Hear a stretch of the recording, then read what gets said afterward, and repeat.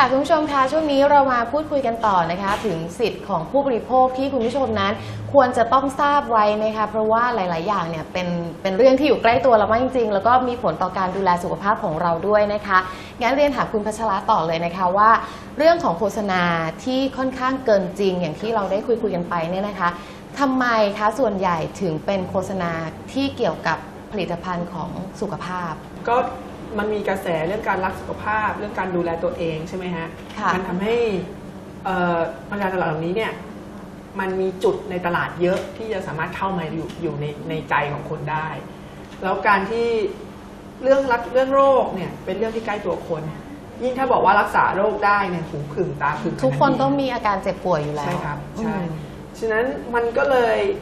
คือด้วยตัวของมันเองเนี่ยถ้าเป็นผลิตภัณฑ์อาหารส่วนใหญ่ มันก็ไม่มีผลอะไรเป็นพิเศษอย่าเป็นสาระสำคัญหรอกครับ มันก็แค่อาหารนะฮะทานเพื่อประทังชีวิตเฉยๆค่ะทานเพื่อให้สารอาหารเข้าสู่ร่างกายเพื่อหล่อเลี้ยงชีวิตเฉยๆแต่อาหารเนี่ยไม่สามารถรักษาโรคได้ อาหารจริงๆแล้วจะบอกว่าบำรุงร่างกายได้ไหมอันนี้ต้องเถียงต่อไป แต่ว่าโดยนิยามของออยเนี่ยอาหารก็ไม่ให้ก็บำรุงร่างกายไม่ได้นะฮะตามนิยามของออยนะฮะ ค่ะฉะนั้นเนี่ยอาหารคือทานเพื่อให้ร่างกายเป็นปกติเฉย ค่ะ นะฮะสามารถทำงานได้อย่างปกติรับประทานอาหารให้ครบห้าหมู่ให้ร่างกายของเราแข็งแรงสมบูรณ์ ๆแล้วเราจะคุ้มครองสิทธิ์ของเราได้อย่างไร ผู้บริโภคเนี่ยมีสิทธิ์ที่จะได้รับ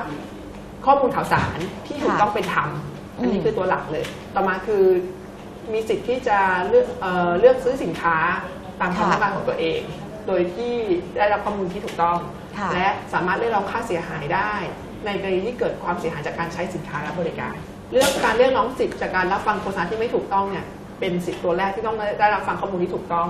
หน่วยงานกำกับดูแลเนี่ยมีสองหน่วยหลักๆนะตอนนี้ คือออยกับสคบนะฮะค่ะที่ดูแลเรื่องโฆษณาโดยสคบเนี่ยดูแลโฆษณาสินค้าและบริการทั่วไปกับที่ออยเนี่ยดูแลอาหารยาและผลิตภัณฑ์สุขภาพอื่นๆค่ะแล้วก็มีองค์กรที่มาดูผู้ผลิตสื่อเนี่ยคือกสทช ค่ะ นะฮะฉะนั้นความรับผิดชอบร่วมกันของหน่วยงานเหล่านี้เนี่ยจะต้องเกิดขึ้นเพื่อที่จะคอยช่วย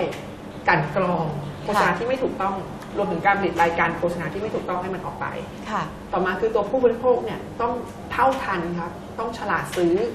นะฮะอืมเอ่ออย่างที่ว่าเราต้องไม่ไหลไปกับคำโฆษณาของเขา ค่ะ ใช้สตินะฮะเวลาที่เราฟังสื่อ หาข้อมูลให้รอบด้าน ค่ะ อย่างที่ว่าดูหาเลขอายุโฆษณาก็ได้ ที่สำคัญคือจะต้องหาข้อมูลครับด้วยตัวเองเพื่อเพื่อเป็นความยุติธรรมของเราใช่แล้วไหมก็คะอ่านฉลากอย่างละเอียดเออ เอ่อถึงแม้ฉลากอาหารจะไม่ได้ให้ข้อมูลทั้งหมดนะฮะค่ะแต่มันก็ให้ข้อมูลสำคัญสำคัญของผลิตภัณฑ์นั้น อาหารต่างๆ ที่บรรยายสรรพคุณนะฮะทางโภชนาการต้องแสดงฉลากโภชนาการฉะค่ะนั้นผลิตภัณฑ์อะไรก็ตามที่บอกว่ารักษานู่นนี่นั่นได้ มีโภชนาการอย่างนั้นอย่างนี้ แต่ไม่มีฉลากโภชนาการ อันนี้เนี่ยก็เข้าข่ายผิดประกาศของออยเลือกฉลากอีกเหมือนกันนะฮะค่ะ ถ้าเจอปัญหาสินเอ่ออาหารไม่ปลอดภัยอย่างแรกเลยเนี่ยรวบรวมหลักฐานทั้งหมดรวมถึงใบเสร็จนะฮะใบเสร็จสำคัญมาก ใบเสร็จทุกครั้งที่เราซื้อสินค้าหรือไปทานไปทานอาหารที่ไหนค่ะก็ตามเนี่ยอย่าทิ้งใบเสร็จคือตัวตัวหลักที่ทำให้เราเรียกร้องค่าเสียหายได้อืมถ้าค่ะคุณเสียใบเสร็จ คุณเสียโอกาสในการเรียกร้องค่าเสียหายไปครึ่งหนึงแล้วนะฮะค่ะหรืออาจจะไม่สำเร็จเลยก็ได้ค่ะฉันเก็บใบเสร็จไว้นะฮะช่องทางที่2คือหน่วยงานรัฐนะฮะก็จะมีอย่างที่ว่าไปแล้วมีหลายหน่วยหลักๆก็มีออยกับสคบค่ะนะฮะแล้วก็ที่กำลังจะเกิดขึ้นนะฮะ